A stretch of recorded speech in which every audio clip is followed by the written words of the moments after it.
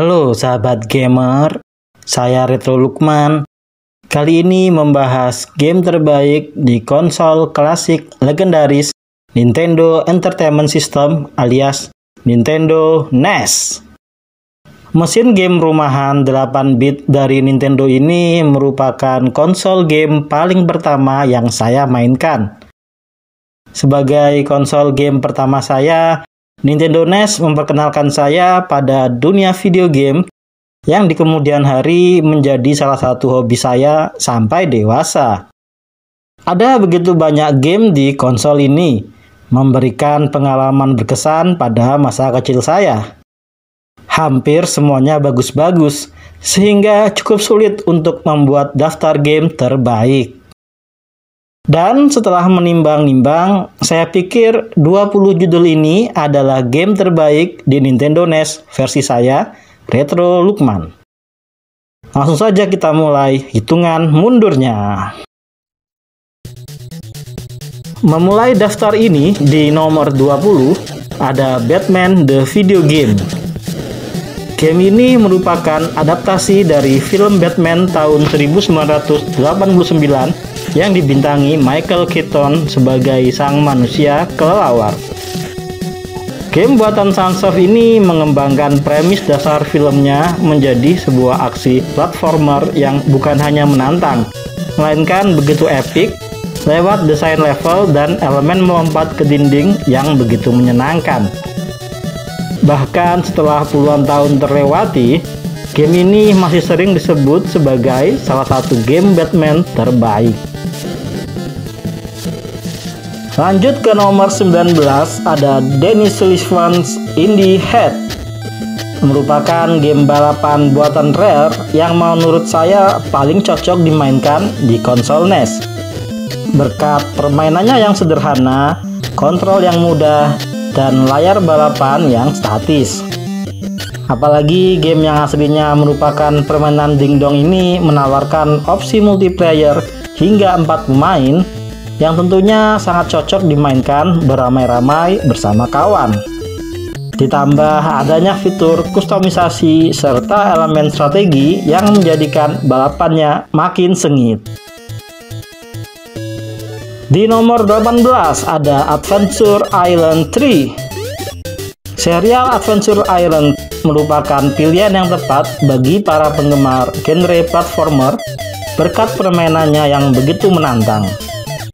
Seri ketiganya yaitu Adventure Island 3 yang dikembangkan Now Production ini menurut saya merupakan yang terbaik karena menyempurnakan dua game pendahulunya dari berbagai segi. Menunggangi aneka spesies dinosaurus sembari mengumpulkan buah-buahan, melintasi pulau demi pulau melawan para monster demi menyelamatkan kekasih tercinta, Adventure Island 3 tentunya sangat sayang untuk dilewatkan. Beralih ke nomor 17 ada Gunneck.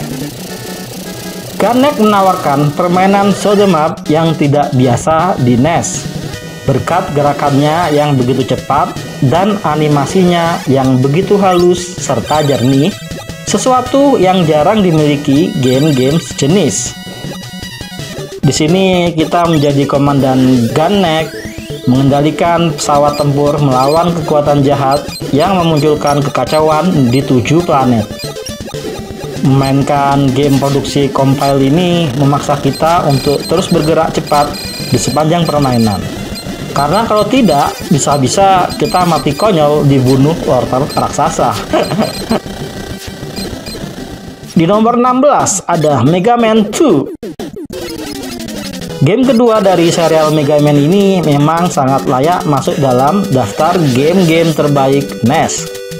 Bukan cuma penuh tantangan berkat tingkat kesulitannya yang terbilang tinggi, Mega Man 2 juga kerap didaulat sebagai game dengan musik latar terbaik di NES. Tak heran bila banyak gamer merasa betah memainkannya berkali-kali, sekalipun Berkali-kali pula mereka game over dalam usaha mencapai kastil Dr. Wily yang jahat.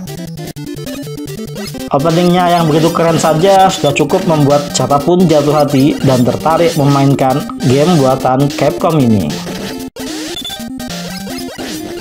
Lanjut ke nomor 15, ada Jackal. Jackal dari Konami ini bisa diibaratkan sebagai Battlefield era 8-bit. Menjadi tentara mengendarai jeep, lempar granat, dan lontar roket ke prajurit lawan, menyelamatkan para sandera, semuanya memberikan pengalaman aksi yang begitu intens bagi siapa pun pemainnya. Dalam beberapa kesempatan, kita dituntut bisa bertahan hidup, mempertahankan sebanyak mungkin tawanan perang yang bisa diselamatkan. Di satu sisi, kita mesti cepat memutuskan untuk melindas para prajurit musuh dengan jeep. Dan menurut saya, itulah bagian terbaiknya. Di nomor 14 ada Kirby's Adventure. Yang menyenangkan dari game Kirby's Adventure adalah kita bisa menghisap dan menelan lawan untuk mendapatkan kekuatan mereka. Kemampuan ikonik Kirby tersebut berperan penting demi berpetualang menyelamatkan Dreamland dari penguin jahat King Dedede. Siapa yang mengira makhluk mungil menyerupai bola ini bisa mengeluarkan beragam jurus mematikan berkat isapan khasnya itu? Bukan hanya kekuatan elemen macam listrik, api, atau es, Kirby bahkan bisa menjadi batu hingga penyanyi bersuara mematikan dalam game buatan HAL Laboratory ini. Lanjut ke nomor 13, ada Teenage Mutant Ninja Turtles 3 The Manhattan Project. Sebagai penggemar kura-kura ninja sedari kanak-kanak, Memainkan gamenya di konsol NES kala itu adalah sebuah kebahagiaan. Di antara empat gamenya yang ada di NES, menurut saya game ketiganya yaitu Teenage Mutant Ninja Turtles 3 The Manhattan Project merupakan yang terbaik. Apalagi dalam game buatan Konami ini, masing-masing kura-kura memiliki jurus spesial yang unik, yaitu Leo dengan putaran pedangnya, Rafael dengan serudukan bornya, Mikey dengan tendangan mautnya, dan Donatello yang berguling-guling di udara. Tak masalah siapa kura-kura yang kita mainkan, karena menurut saya semuanya kawabangga. Di nomor 12 ada Contra.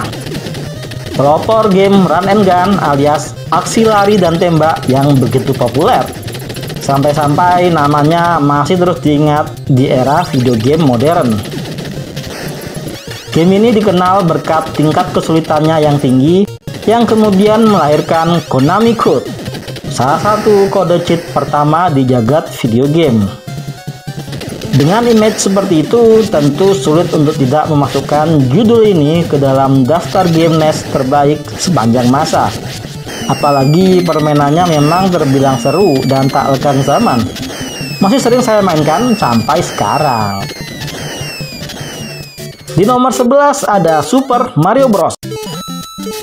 Super Mario Bros. adalah game paling berkesan dan penuh kenangan.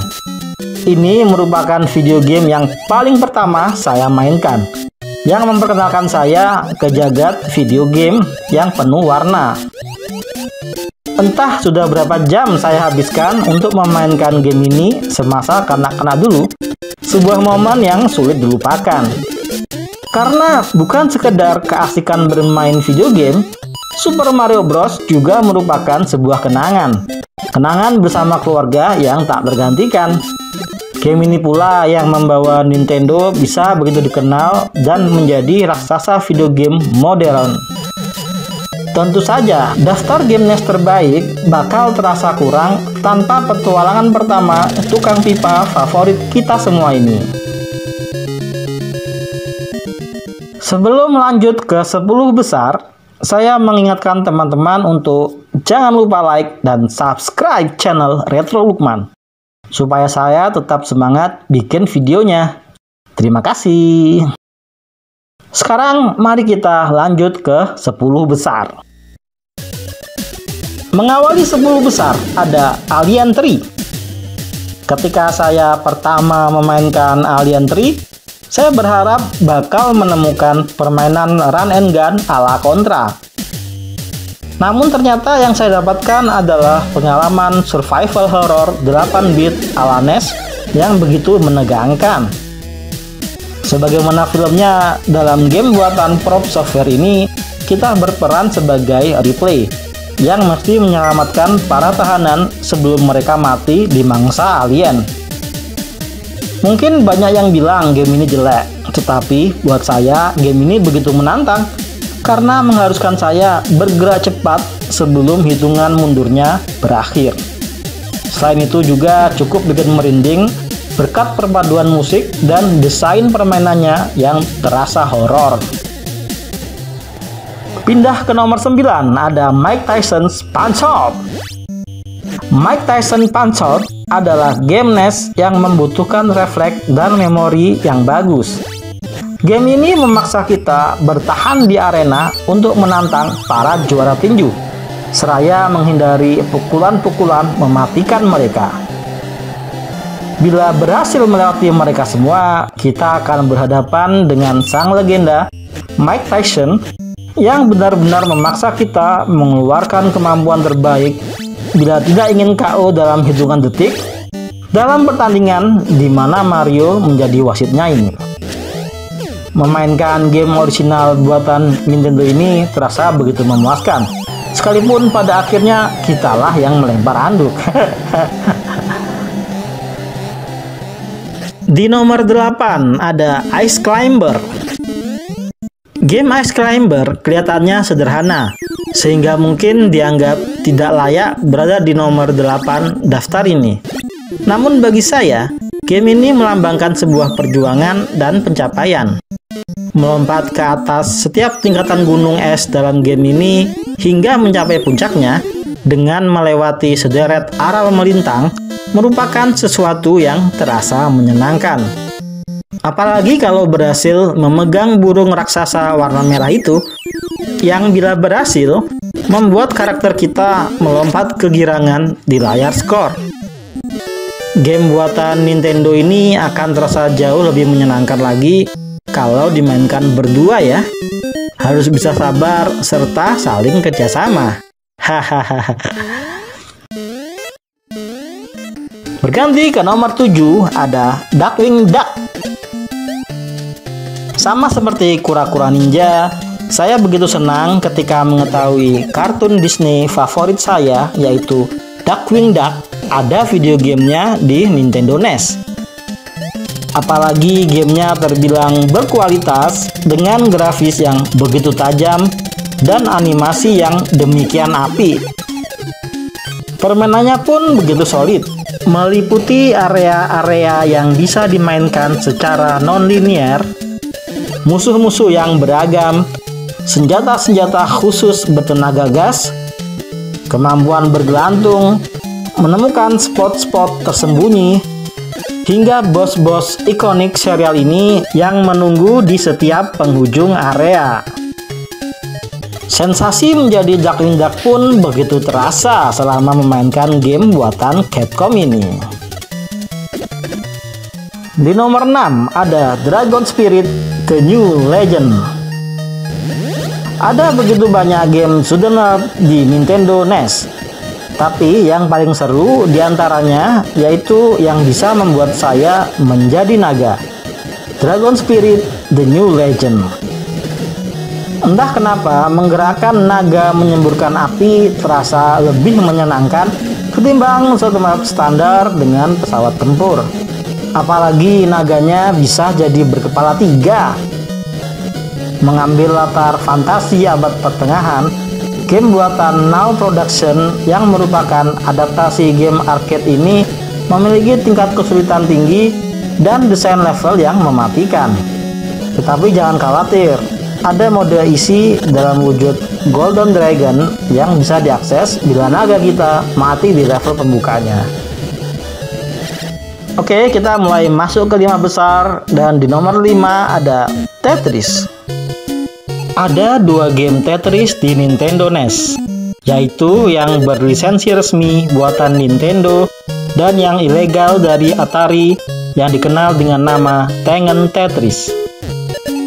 Banyak yang lebih menggemari Tengen Tetris karena memiliki opsi dua pemain. Tapi buat saya, game Tetris yang lebih asik ya yang official dari Nintendo, sekalipun tidak ada opsi multi pemain. Alasannya layar single playernya yang lebih besar, serta tekstur baloknya yang lebih jelas. Meskipun pilihan musiknya lebih sedikit, namun menurut saya terdengar lebih menyenangkan. Hal lain yang saya suka yaitu animasi progres kita di akhir permainan yang menampilkan karakter-karakter ikonik Nintendo memainkan alat-alat musik. Lanjut nomor 4 ada Blades of Steel. Kepiawaian Konami dalam membuat game olahraga telah dimulai sejak era 8-bit. Salah satunya Blades of Steel di Nintendo NES. Dengan permainan hoki yang begitu solid dan kompetitif, menjadikannya game olahraga terbaik pada konsol ini. Kontrolnya begitu mudah, visualnya terlihat jelas, dengan mode turnamen yang seru penuh tantangan.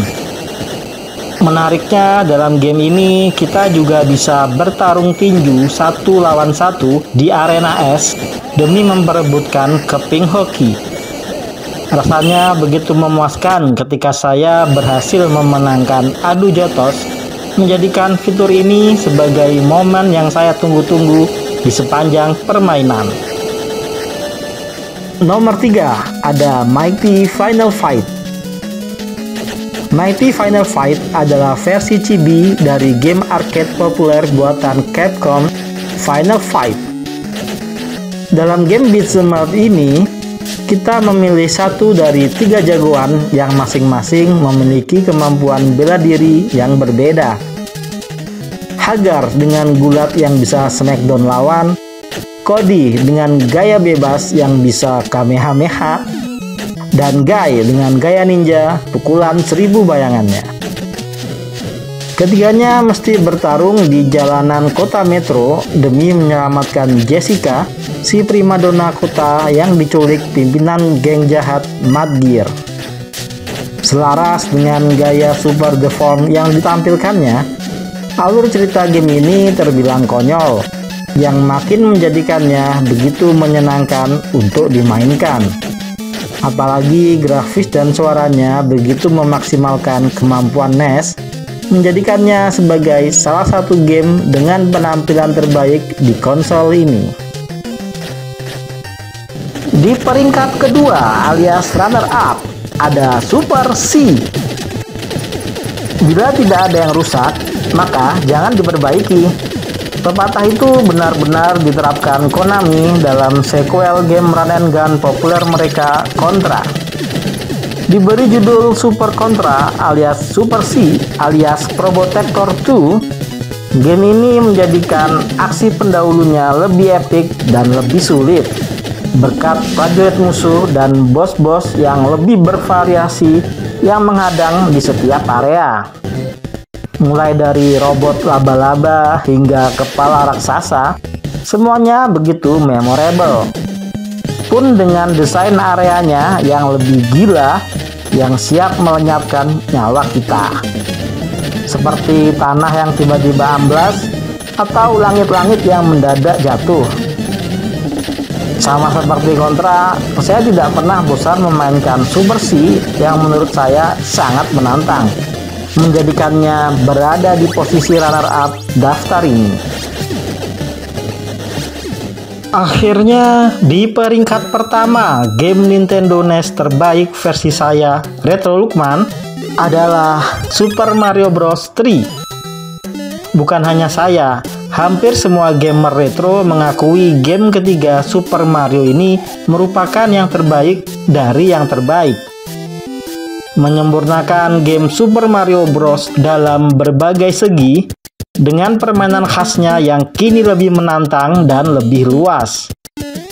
Level-levelnya begitu beragam dan didesain dengan sangat baik, terbagi dalam 8 world kerajaan, terdiri dari padang rumput, gurun pasir, lautan luas, tanah raksasa, dunia pipa, hingga ke atas awan. Sejumlah kekuatan atau power up baru Mario pun diperkenalkan, mulai dari daun super yang mengubah Mario menjadi rakun Mario dengan kemampuan melayang di udara, kostum kata yang menjadikan Mario bisa berenang cepat, hingga kostum Tanuki yang bisa mengubah Mario menjadi patung. Musuh-musuh Mario pun bertambah, dengan anak-anak Bowser menanti di akhir setiap world sebagai bos yang mesti dikalahkan. Semua itu bukan hanya menjadikan Super Mario Bros. 3 sebagai game platformer terbaik, melainkan juga memberikan sensasi petualangan terbaik era 8-bit. Ya tadi daftar 20 game terbaik di Nintendo NES versi saya, Retro Lukman. Apakah game-game favorit teman-teman ada dalam daftar ini? Apa game Nintendo NES favorit kalian? Jangan segan menuliskannya di kolom komentar ya. Demikian video kali ini. Terima kasih teman-teman sudah menyaksikan. Jangan lupa like dan subscribe ya. Saya Retro Lukman. Sampai jumpa lagi di video berikutnya dan salam gamer.